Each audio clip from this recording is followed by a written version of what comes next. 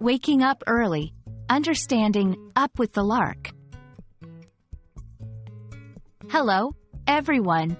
Today, we're diving into a charming English phrase, up with the lark. If you're keen on enriching your English vocabulary with idiomatic expressions, this video is for you. So, let's explore what this phrase means and how you can use it in everyday conversations. The phrase, up with the lark, originates from observing nature. Larks are birds known for starting their day extremely early, often singing at the break of dawn. So, when someone says they are up with the lark, it means they are up and active very early in the morning. This expression is often used to describe someone who is an early riser or someone who starts their day at the crack of dawn. Up with the lark is not just a modern phrase, it has historical roots.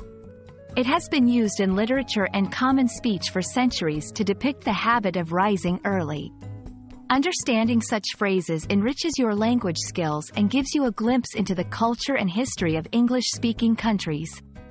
You might encounter this phrase in books, movies, or even in a casual conversation with a native English speaker.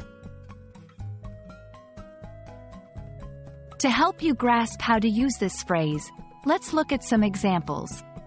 1. Even on weekends, my grandfather is up with the lark, tending to his garden. 2. As a baker, she's always up with the lark to prepare fresh bread for the morning rush. 3. I'm not really up with the lark. I prefer staying up late and waking up late. These examples show how the phrase can be used to describe different lifestyles and habits.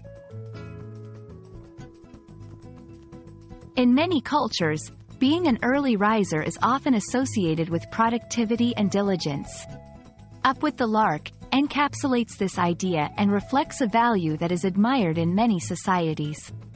By using this phrase, you're not only communicating a simple fact about waking up early but also tapping into a deeper cultural appreciation for hard work and efficiency. I hope this video has shed light on the charming phrase, up with the lark.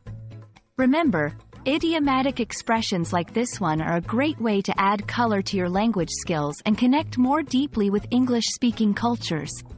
Keep practicing, and soon you'll be using phrases like this one with ease. Until next time, happy learning!